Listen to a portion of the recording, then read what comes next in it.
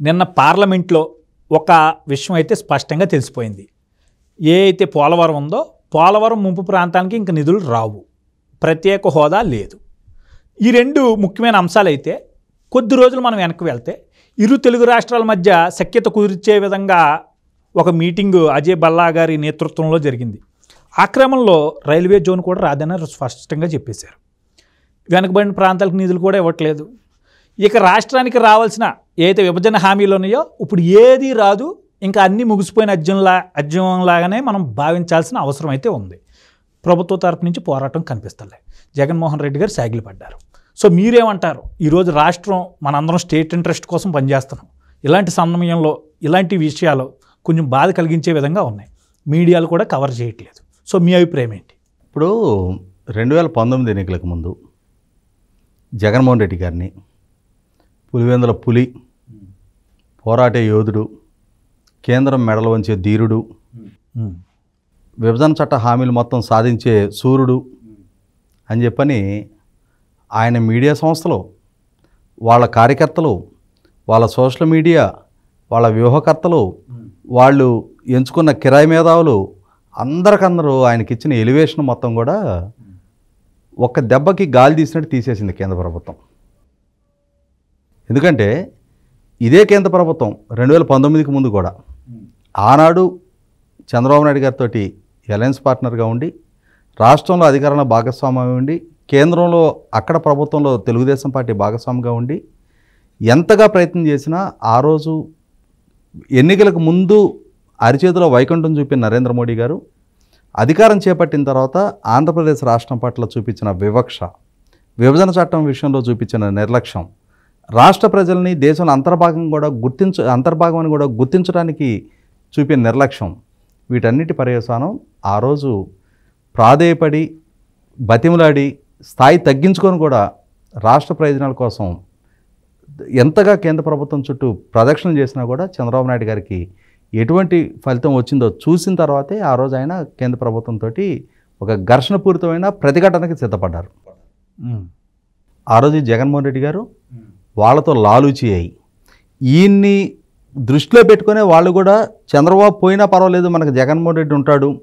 జగన్మోహన్ రెడ్డికి ఉన్న వ్యక్తిగత బలహీనతల దృష్ట్యా అతను అతని వ్యక్తిగత అవసరాలు తప్ప రాష్ట్రం గురించి పట్టించుకునే అవసరం ఉండదు. మన దగ్గరకు వచ్చి ఈ అనుమతులు ఇవ్వండి దానికి నిధులు ఇవ్వండి అని చెప్పని మన ప్రతిరోజు విసిగించడనే ఉద్దేశంతో చంద్రబాబు నాయుడు గారి ఓటమికి ఆ రోజు నరేంద్ర మోడీ గారి ఆధ్వర్యంలో పూర్తి స్థాయిలో కృషి చేశారనేది వ్యవస్థలను అడ్డుపెట్టి తెలుగుదేశం పార్టీని ఒక అష్టదిగ్బంధనం చేశారనేది వాస్తవం. అంతిమంగా జగన్మోహన్ రెడ్డి గారు ఆయన కోరుకున్న ఫలితం ఆయనకి దక్కింది.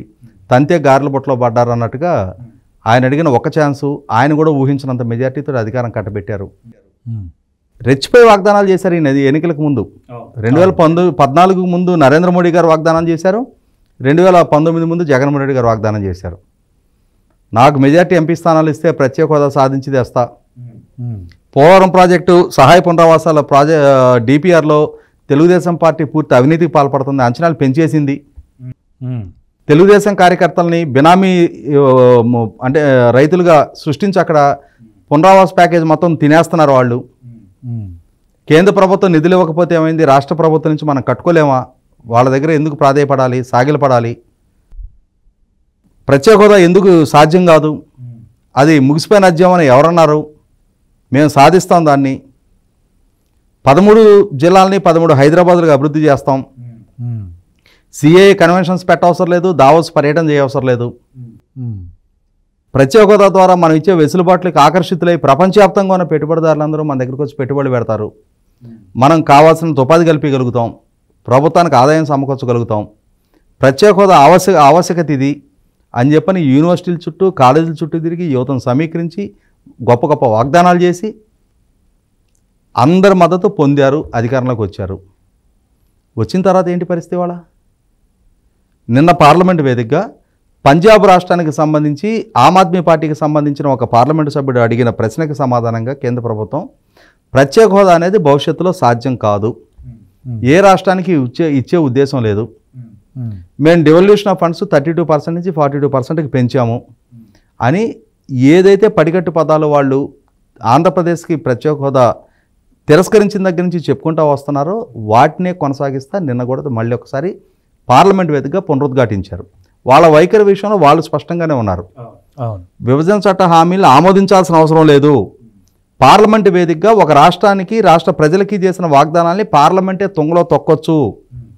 తద్వారా ప్రజాస్వామ్య స్ఫూర్తికి విఘాతం కలిగినా సరే మనం మనం అనుకున్న రాష్ట్రాలకి చేసే మేలుకే ప్రాధాన్యత ఇద్దాం తప్ప మనకు సీట్లు కట్టబెట్టని రాష్ట్రం మీద ప్రేమ చూపించాల్సిన అవసరం లేదు. అని ఏదైతే నరేంద్ర మోడీ గారి నేతృత్వంలోని కేంద్ర ప్రభుత్వం భావిస్తూ వచ్చిందో దాన్నే మళ్ళొకసారి తిరిగి రీఇటరేట్ చేశారు. మరి ఇరవై రెండు మంది సభ్యులు ఉన్నారు కదా. పార్లమెంట్లో ఏం ప్రతిఘటన చూపించారు నిన్న? నిరసన తెలియజేశారా? కనీసం ఒక ఐదు నిమిషాల పాటు అయినా సరే మా రాష్ట్ర హక్కుల పట్ల మీరు ఇంత నిర్లక్ష్యంగా ఎట్లుంటారని చెప్పని ఏమన్నా ప్రతిఘటించే ప్రయత్నం చేశారా? స్పందించారా కనీసం? విమర్శ చేశారా? ఏం లేదు. కామ్గా మినకుండిపోయారు. ఎందుకంటే కేంద్ర ప్రభుత్వాన్ని ప్రశ్నిస్తే వాళ్ళకి ఎదురు తిరిగితే రాష్ట్ర హక్కుల కోసం పోరాడితే ఎటువంటి పరిస్థితులు పరిణామాలు ఎదుర్కోవాల్సి ఉంటుంది. ఇప్పుడు స్వేచ్ఛాజీవిలాగా తిరుగుతున్న జగన్మోహన్ రెడ్డి గారి పరిస్థితి ఏమవుద్ది? ఆయన మీద ఉన్న కేసులు ఆరోపణలు ఛార్జ్షీట్లు గత జైలు జైలు జీవిత చరిత్ర ఇవన్నీ మళ్ళీ తిరిగి అక్కడ రిపీట్ అవుతాయో? విచారణ సంస్థలు వేగం ఎక్కడ పెంచుతాయో? వివేకానంద రెడ్డి గారి కేసు ఎక్కడ తరుముకుంటూ వస్తుందో? ఎన్ఫోర్స్మెంట్ కేసులు ఎక్కడ ముందుకు వస్తాయో ఈ భయం ఉలికిపాటు వాళ్ళకి అడుగడుగు అడుగున జీర్ణించుకొని ఉంది కాబట్టే వాళ్ళు రాష్ట్ర ప్రయోజనాల కన్నా వాళ్ళ వ్యక్తిగత స్వార్థానికి కట్టుబడి రాష్ట్ర ప్రజ ప్రయోజనాల్ని కేంద్ర పాలకుల దగ్గర తాకట్టు పెట్టారు. సాగిలపడ్డారు. దానికి కొనసాగింపుగానే నిన్న పోలవరం ప్రాజెక్టుకు సంబంధించి కూడా తెలుగుదేశం ఎంపీ కనకమెడల రవీంద్ర కుమార్ గారు రాజ్యసభలో వేసిన ప్రశ్నకు సమాధానంగా కేంద్ర ప్రభుత్వం తెలియజేసింది ఏంటి అంటే మేము రెండు వేల పదమూడు పద్నాలుగు లెక్కల ప్రకారం ఇరిగేషన్ కాంపనెంట్ మా వరకు మాత్రమే డబ్బులు పే చేయడానికి ఒప్పుకున్నాం. ఇంకొక రెండు వేల నాలుగు వందల నలభై ఒక్క కోట్లు మాత్రమే చెల్లించాలి. రెండో డిపిఆర్ పరిశీలనలో ఉంది అది ఎప్పుడు ఆమోదిస్తారో గ్యారంటీ లేదు. పోలవరం ప్రాజెక్టు రెండు వేల ఇరవై నాలుగు మార్చి నాటికి కంప్లీట్ అవ్వదు. మరి జగన్మోహన్ రెడ్డి గారు ఏం చెప్తున్నారు ఇప్పుడు ఆ రోజు తెలుగుదేశం పార్టీ సహాయ పునరావాసాలకి రెండు వేల పదమూడు భూసేకరణ చట్టం ప్రకారం పెరిగిన అంచనాలని దృష్టిలో పెట్టుకొని రెండో డిపిఆర్ని తయారు చేసి సహాయ పునరావాస బాధ్యత కూడా కేంద్ర ప్రభుత్వం అనే ఉద్దేశంతో రెండో డిపిఆర్ కేంద్ర ప్రభుత్వానికి ఇస్తే. చెవులో జోరేగల్లాగా కేంద్ర ప్రభుత్వం దగ్గర వీళ్ళు దాంట్లో తప్పులు ఉన్నాయి వాళ్ళ అంచనాలు అడ్డగోలుగా పెంచారు తెలుగుదేశం కార్యకర్తలు దోచుకుంటున్నారని చెప్పని ఫిర్యాదులు పొంకాను పొంకాలుగా చేసిన పర్యవసానం ఇవాళ. కేంద్ర ప్రభుత్వం అసలుకే గడ్డి కొట్టింది ఇవాళ. మొదటిగా మోసం తీసుకొచ్చింది ఉమ్. రాష్ట్ర ప్రభుత్వం ఇవాళ సహాయ పునరావాస ప్యాకేజీ చెల్లించే పరిస్థితిలో ఉందా? ఆ మధ్య వరద బాధితుల వరద బాధితుల పర్యటనకి వెళ్ళినప్పుడు జగన్మోహన్ రెడ్డి గారు స్వయంగా చెప్పారు కదా ఒక వెయ్యి కోట్లు రెండు వేల కోట్లు అయితే రాష్ట్రం తరపున నేను భరించేవాడిని ఇరవై వేల కోట్ల పైన భరించాలి నాతోటి ఎక్కడ అవుద్ది? ఉమ్. నోట్లు అచ్చుకుద్దటం కేంద్ర ప్రభుత్వం దగ్గరే ఉంది కదా వాళ్ళకి డబ్బులు కొదవే ఉంది వాళ్ళే చెల్లించాలి అని చెప్పని. ఇప్పుడు మరి ఆ అచ్చు మిషనే అన్న కొద్ది రోజుల పాటు జగన్మోహన్ రెడ్డి గారికి బదులు తెచ్చుకొని ఈయన అచ్చుకుద్దుకొని ఈయన సహాయ పునరావాసాలు చెల్లిస్తారా ఇక్కడ. కేంద్ర ప్రభుత్వం వాళ్ళ నిర్లక్ష్యాన్ని తెలియజేసింది నిర్లజ్జగా ఒక రాష్ట్రానికి చేసిన వాగ్దానాన్ని. ఒక రాష్ట్రాన్ని విభజించాలి అని చెప్పని పార్లమెంటు తీసుకున్న నిర్ణయాన్ని అవమ అవహేళన చేస్తా. ఆ రాష్ట్ర ప్రజలకు అభిష్టానికి వ్యతిరేకంగా రాష్ట్ర విభజన చేస్తా. రాజధాని కూడా లేని రాష్ట్రం లోటు బడ్జెట్తో ఉన్న రాష్ట్రం పారిశ్రామికీకరణ లేని రాష్ట్రం గ్రామీణ నేపథ్యం ఉన్న రాష్ట్రం విద్యా వైద్యం ఉపాధికి పక్క రాష్ట్రాల మీద ఆధారపడుతున్న రాష్ట్రం. అటువంటి రాష్ట్రాన్ని విభజన చేసి. ఆ ప్రజలకి ఆ విభజన సందర్భంగా ఇచ్చిన వెసులుబాట్లని అదే పార్లమెంటు వేదికగా అదే పార్లమెంటు ఒక రాష్ట్రాన్ని మోసం చేయటం అని అంటే అసలు ప్రజాస్వామ్య వ్యవస్థల పట్ల గౌరవం నిలుపుకోవాలా? తిరస్కరించాలా? దేశంలో అంతర్భాగంగా ఆ ప్రాంతాన్ని పరిగణిస్తున్నారా లేదా? ఆ ఐదు కోట్ల మంది ప్రజలు దేశంలో అంతర్భాగం అని చెప్పని పార్లమెంటు గుర్తిస్తుందా లేదా. రాజకీయ ప్రయోజనాలకు ఇచ్చిన ప్రాధాన్యత రాష్ట్ర ప్రయోజనాల పట్ల ప్రాంత ప్రయోజనాల పట్ల అక్కడ రాజధాని నిర్మాణం పట్ల అక్కడ ప్రజల యోగక్షేమాల పట్ల కేంద్ర ప్రభుత్వం బాధ్యత వహించట్లేదు అని అంటే. కేవలం తన ఇగో కోసం ఆ రోజు చంద్రబాబు నాయుడు గారు ముఖ్యమంత్రిగా ఎప్పుడో రెండు వేల ఒకటిలో నరేంద్ర మోడీ గారిని వ్యతిరేకించారనే ఉద్దేశం కడుపులో పెట్టుకొని దానికోసం ఐదు కోట్ల మంది ప్రజల భవిష్యత్తును పణంగా పెట్టే నిర్ణయం వాళ్ళ కేంద్ర ప్రభుత్వం తీసుకోవడం అని అంటే నూటికి నూరు పాళ్ళు ఐదు కోట్ల మంది ఆంధ్ర ప్రజలు కూడా ఎందుకు ఎంతగా భారతీయ జనతా పార్టీని అసహించుకుంటున్నారనేది కొద్దిపాటైనా గమనంలో పెట్టుకోకుండా. అదే అదే అరిగిపోయిన రికార్డుని మళ్ళీ మళ్ళీ వలవేసినట్టుగా ఇవాళ పోలవరం పట్ల చూపిస్తున్న నిర్- నిర్లక్ష్యం ప్రత్యేక హోదా పట్ల చూపిస్తున్న నిర్లక్ష్యం రైల్వే జోన్ పట్ల చూపిస్తున్న నిర్లక్ష్యం కడప స్టీల్ ప్లాంట్ పట్ల ప్రభుత్వ రంగంలో ఏర్పాటు చేయాల్సిన స్టీల్ ప్లాంట్ని ఇవాళ ప్రైవేట్ రంగం వైపు రాష్ట్ర ప్రభుత్వం ఆలోచన చేయాల్సిన పరిస్థితి కల్పించారు అని అంటే. చెన్నై విశాఖపట్నం ఇండస్ట్రియల్ కారిడార్ ఏమైపోయిందో తెలియదు ఓఎన్జీసీ రిఫైనరీ ఏమైందో తెలియదు పెట్రోకెమికల్ కాంప్లెక్స్ ఏమైందో తెలియదు ఆఖరికి రాష్ట్ర ప్రభుత్వ నిస్సహాయత మూలన పెట్రోలియం యూనివర్సిటీని కూడా తీసుకెళ్ళి ఉత్తరప్రదేశ్ రాయబరీలో కలపడానికి నిర్ణయం తీసుకున్నారు అని అంటే. కేంద్ర ప్రభుత్వం ఆంధ్రప్రదేశ్ రాష్ట్రం పట్ల ఆంధ్రప్రదేశ్ విభజన చట్టం పట్ల ఆంధ్రప్రదేశ్ ప్రజల పట్ల ఎంత మాత్రం బాధ్యతతోటి వ్యవహరిస్తుంది అనడానికి తార్కాణంగానే నిన్నటి కేంద్ర పార్లమెంటు వేదికగా జరిగిన రెండు అంశాలకు సంబంధించిన కేంద్ర ప్రభుత్వ వైఖరి స్పష్టమైన తర్వాత.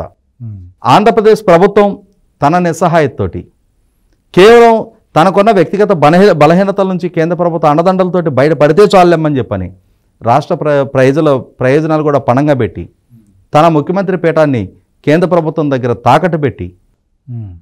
ఇవాళ జగన్మోహన్ రెడ్డి గారి ప్రభుత్వం పోరాటతత్వమే చూపలేని ఒక నిస్సహాయ స్థితిలో ఐదు కోట్ల మంది ప్రజల భవిష్యత్తుని పణంగా పెట్టడం జరిగింది. ప్రజలు కూడా ఆలోచించుకోవాలి. ఏ భారతీయ జనతా పార్టీ ఏ వైసీపీ పార్టీ రాజకీయ ప్రయోజనాల కోసం ఆనాడు తెలుగుదేశం పార్టీ పట్ల వి- విపరీతమైన దోషణ భూషణలకు పాల్పడ్డారో రాజకీయ విమర్శలకు దిగారో దిగ్బంధనం చేసే ప్రయత్నం చేశారో మీరు ఆ రోజు తెలుగుదేశాన్ని ఓడించారు జగన్మోహన్ రెడ్డి గారిని గెలిపించారు. ఇవాళ పాలకుడిగా జగన్మోహన్ రెడ్డి గారు వైఖరి ఎట్లా ఉందనేది కళ్ళ ముందు స్పష్టమవుతున్న దగ్గర. ఇప్పటికైనా సరే ప్రజలు రియలైజ్ అవ్వకపోతే నూటికి నూరుపాళ్ళు ఏ పులివెందల పులిగా మీరు భావించి ఓట్లేసిన ఆయన ఇవాళ ఏ విధంగా వ్యవహరిస్తున్నాడు అనేది కళ్ళ ముందు కనిపిస్తున్నా కూడా మీరు రియలైజ్ అవ్వకపోతే అంతిమంగా రేపటి రోజున మొత్తం ఐదు కోట్ల మంది ప్రజలు కూడా ఈ దేశంలో ఒక వివక్షకు గురైన జాతిగా మిగిలిపోవటం ఖాయం.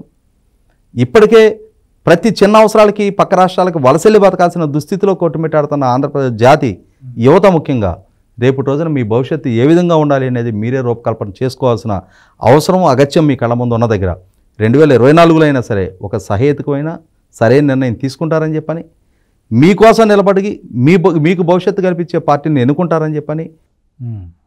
అటువంటి మార్గదర్శనం చేయగలిగిన భవిష్యత్తు కల్పించగలిగిన నాయకుడు చంద్రబాబు నాయుడు గారు అనేది రియలైజ్ అవుతారని చెప్పని రెండు వేల పంతొమ్మిదిలో చేసిన పొరపాటుని రెండు వేల ఇరవై నాలుగులో అయినా సరే సరిదిద్దుకుంటారని చెప్పని ఆశిద్దాం